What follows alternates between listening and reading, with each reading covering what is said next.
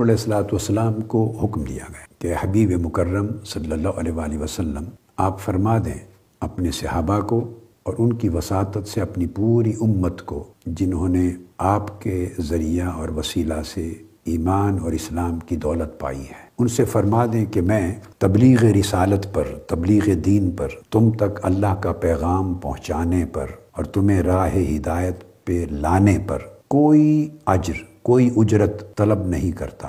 सिवाय इसके कि तुम मेरी कराबत से मोहब्बत करो। इमाम शाफी फरमाते हैं, या अहल बैत रसूल हुब्बुकुम, फर्दुम मिनल्लाह फिल कुरान अनजलहू, यकफ़ीकुम मिन अजीमिल कद्र अन्नकुम मल्लम अलैकुम ला सलात लहू। अहल बैत रसूल, तुम्हारी मोहब्बत कुरान मजीद की तरफ़ से और कुरान मजीद में नाजिल की गई आया करीमा के ज़रिए हम पर फ़र्ज़ कर दी गई है कि मोहब्बत अहल बैत फ़र्ज़ कर दी गई है। अहल बैत की अजमत में और उनकी शान में बहुत सी आयात हैं, मगर उनकी मोहब्बत का फ़र्ज़ होना हम पर इस आयत करीमा से साबित होता है। कुल्ला असअलुकुम अलैहि अजरन इल्लल मवद्दत फिल कुर्बा। हुजूर की कराबत और हुजूर की अहल बैत की मवद्दत और मोहब्बत ये फ़र्ज़ कर दी गई है कुरान मजीद। तो इमाम शाफी फरमाते हैं कि आपकी मोहब्बत कुरान ने हम पे फ़र्ज़ कर दी है और फिर ये इतनी अजीम कदर व मंजिलत अल्लाह ने जो आपको अता की, इससे बड़ी दलील और क्या हो सकती है कि जो शख्स नमाज़ में तुम पर दरूद ना पड़े, उसकी नमाज़ नहीं होती।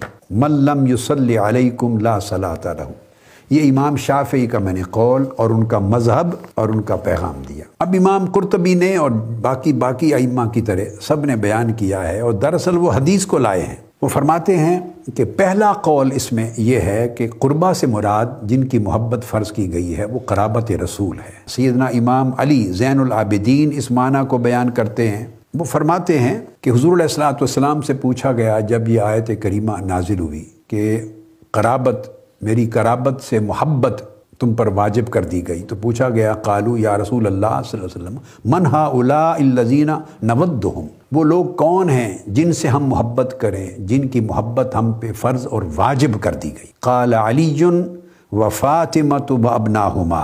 आकल इस्लाम ने फरमाया, अली, फ़ातिमा और उनके दोनों बेटे, हसन और हुसैन, इनकी मोहब्बत फ़र्ज़ कर दी गई है। इमाम अहमद बिन हम्बल रिवायत फरमाते हैं, और इमाम तबरानी भी अपनी मोजम अल कबीर में अब्दुल्ला इबन अब्बास रज़ी अल्लाह तु ये इमाम अहमद बिन हम्बल का बयान। काल लम्मा नजलत हाजिल आया। कुल्ला असअलुकुम अलैहि अजरन इल्लल मवद्दत फिल कुर्बा। कालू, या रसूल अल्लाह मन कराबतुक। हाउला अल्लजीन वजबत अलीना मवद्दतुहुम। काल अलीजुन व फातिमा वबनाहुमा। इमाम अहमद बिन हम्बल ने फ़ज़ाइल सहाबा में जिल दो और सफ़ा छः सौ उनहत्तर में यह हदीस रिवायत फरमाई। कि सहाबा कराम के पूछने पर आकाल इस्लाम ने ख़ुद तफसीर की इस आयत की, कि हम पर किन की मवदत और मोहब्बत वाजिब है, फ़र्ज़ है?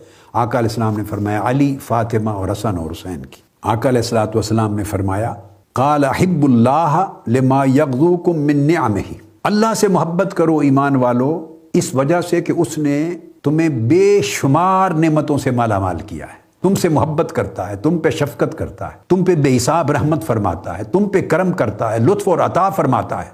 सुबह शाम तुम उसकी नेमतों और रहमतों के समंदरों में गोता जन रहते हो। मूसलाधार बारिश रहती है अल्लाह की नेमतों की। इसकी वजह से अल्लाह से मोहब्बत किया करो। और फिर फरमाया वाहिबूनी बेहबिल्ला आकल इस्लाम ने फरमाया, और मुझसे मोहब्बत करो अल्लाह की मोहब्बत की वजह से कि अल्लाह की मोहब्बत नहीं मिलती मेरी मोहब्बत के बगैर। तो मेरी मोहब्बत ही रास्ता है अल्लाह की मोहब्बत का।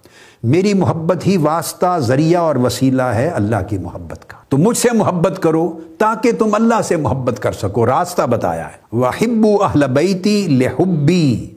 और मेरी अहल बैत से मोहब्बत करो ताकि तुम्हें मेरी मोहब्बत मिल सके। मेरी मोहब्बत की खातिर मेरी अहल बैत से मोहब्बत करो और अल्लाह की मोहब्बत की खातिर मुझसे मोहब्बत करो। अब्दुल्ला इबन अब्बास रज़ी अल्लाह तु रिवायत करते हैं और ये हदीस भी हसन है और इमाम हाकिम फरमाते हैं सही उल इसनाद है। इमाम तिरमजी ने रिवायत किया और इमाम हाकिम ने। अब्दुल्ला बिन अब्बास रज़ी अल्लाह तु से मरवी है, हदीस आपने सुनी है, कई मरतबा सुनी। मैं अल्फाज बरकत के लिए दोहरा रहा हूँ। काला काना रसूल सल्लल्लाहु अलैहि वसल्लम हामिल हुसैन इबन अली अला आतिक़, कि आकल सलाम एक रोज़ सैदना इमाम हुसैन को, अपने शहजादे हुसैन को अपने कंधों पर उठा के चल रहे। फ़काल रजल मरकब रकिब तया गुलाम। अब्दुल्ला अपने अब्बास फरमाते हैं रज़ी अल्लाह तु तो एक शख्स ने देखा तो देखते उसने कहा कि, ए बेटे, मुबारक हो। कितनी प्यारी सवारी नसीब हुई है तुम्हें। कितनी खूबसूरत और आला सवारी है तेरी। ये इमाम हुसैन से मुखातिब हुआ कोई शख्स। साफ़ ज़ाहिर है, सिहाबी था। यह मुमकिन है, कोई गैर सिहाबी भी हो। मदीना पाक में यहूदी भी रहते थे, अहले किताब भी रहते थे। उसका कहना, ए गुलाम, ए बेटे, या ए बच्चे, मुबारक हो तुम्हें। कितनी आला सवारी नसीब हुई है तुम्हें कोई शख्स था। फ़काल नबी वसल्लम अमर राकिब हुआ तुम्हें सवारी का अच्छा होना नज़र आ रहा है, देखो कि राकिब सवार कितना अच्छा है, सवार कितना प्यारा है, सवार कितना खूबसूरत है, सवार कितना आला है। अब यहाँ एक नुक्ता, उसकी तरफ़ आपकी तवज्जो मबजूल कराना चाहता हूँ, वो ये कि ये आकल सलाम का अमल सैदना इमाम हुसैन को जब छोटी उम्र में शहजादे थे, कंधों पे बिठा के चलना। और एक रिवायत में इमाम हसन मुशतबा का ज़िक्र भी आया कि उनको उठा के चल रहे थे। तो हसनैन, करीमैन दोनों को या दोनों में से किसी एक को उठा के चलना जब एक गैर शख्स देख रहा है और देख के मुबारक देता है तो साफ़ ज़ाहिर है ये वाक़ घर के अंदर का नहीं है। अपने हजरा मुबारक का नहीं है, घर की चार दीवारी के अंदर का नहीं है, वरना गैर शख्स कैसे अंदर आता? उसने कैसे देखना था? इसका मतलब है लेके गली में चल रहे थे। गली में क्यों चल रहे हैं? अब आप आकल इस्लाम का मरतबा, आपकी शान, आपकी अजमत, आपकी जलालत कदर भी देखें, अमल भी देखें। ये काम आप नहीं करते, झिझकते हैं, शर्माते हैं। अपना बेटा हो, पोता हो, नवासा हो, नवासी हो, जिससे बहुत प्यार हो, उठा के आप कंधे पे लेके गली में नहीं चलते। हालाँकि ये सुन्नत रसूल है, सल्लल्लाहु अलैहि वसल्लम। ये गली में लेके चल रहे हैं। मैं तो समझता हूँ कि आका सलाम यही प्यार, फकत प्यार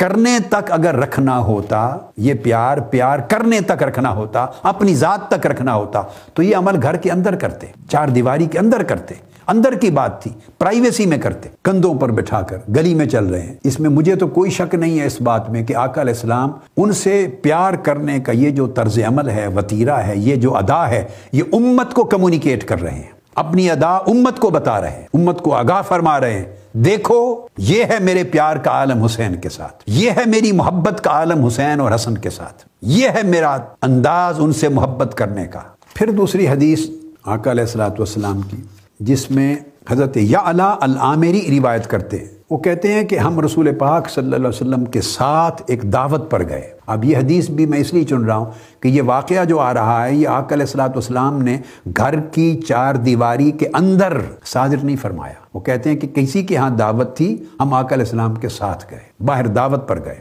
लोग बैठे थे, अमामल कौम व हुसैन गिलमान अब गली से गुजर रहे हैं। लोगों के सामने बच्चे खेल रहे थे। उनमें हुसैन भी खेल रहे थे। सैदना इमाम हुसैन रज़ी अल्लाह तु अब साफ़ ज़ाहिर है, ये भी किसी गली का वाक़ है। शहर का, मदीना पाक के किसी गली कूचे का वाक़ है। बच्चों के साथ खेल रहे हैं। इस हदीस पाक की नस वाजे कर रही है कि घर से बाहर दावत के लिए निकले तो रास्ते में ये वाक़ पेश आया। फस्तकबला रसूल वसल्लम अमाम कौम। आकल इस्लाम ने चेहरा मुबारक किया लोगों की तरफ़।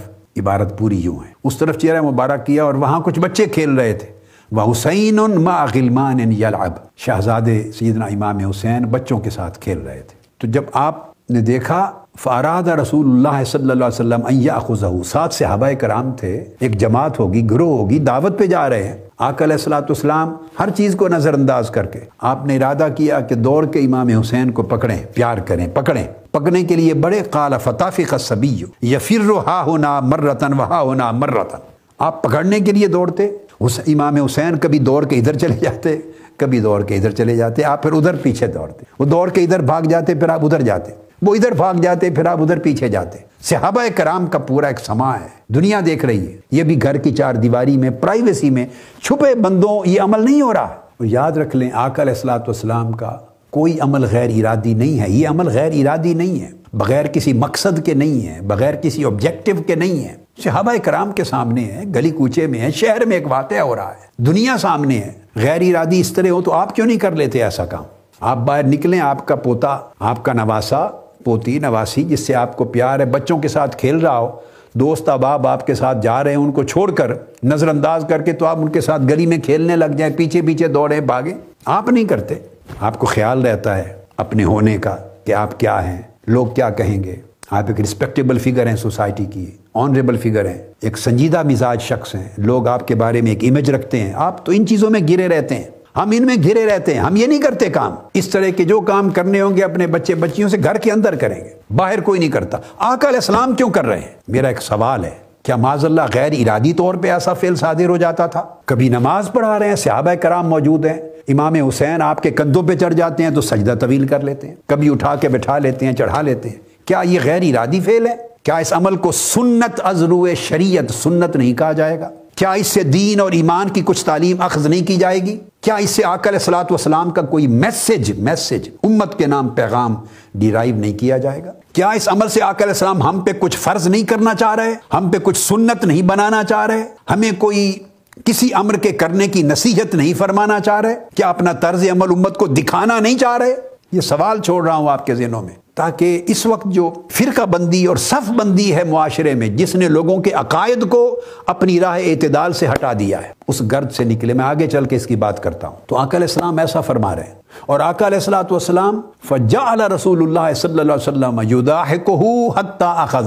तो आकल इस्लाम फिर हज़रत इमाम हुसैन को हंसाते जा रहे हैं। फिर दौड़ते हैं, फिर वो हँसते हैं ऊँचा ऊँचा। फिर दौड़ते हैं पकड़ने के लिए, फिर वो ऊँची आवाज़ से हँसते हैं और इधर दौड़ जाते हैं। तो उनको हंसा रहे हैं, खुश कर रहे हैं।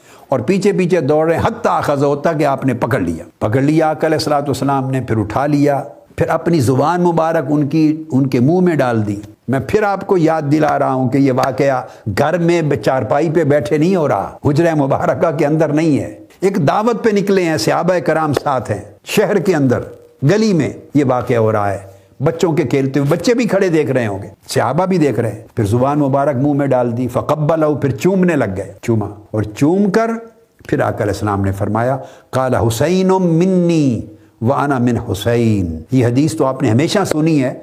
आज इसका शान वरूद समझा दिया आपको कि किस मौका पर आकल इस्लाम ने ये कलिमात फरमाए थे। इतना टुकड़ा ही सुना है ना हमेशा। मगर किस मौका पर फरमाया, आज वो पूरा पस मंजर आपने सुन लिया। उस मौका पर फरमाया, हुसैन मुझसे है और मैं हुसैन से अहब अल्लाह मन अहब हुसैना। अल्लाह उससे मोहब्बत करे और करता है जो हुसैन से मोहब्बत करता है। आपने वाक़ हकीकत भी बयान फरमाई और दुआ भी दी कि हकीकत ये जो हुसैन से मोहब्बत करता है, अल्लाह उससे मोहब्बत करता है। और इसमें दुआ भी आकल इस्लाम की कि अल्लाह उससे मोहब्बत करे जो मेरे हुसैन से मोहब्बत करे।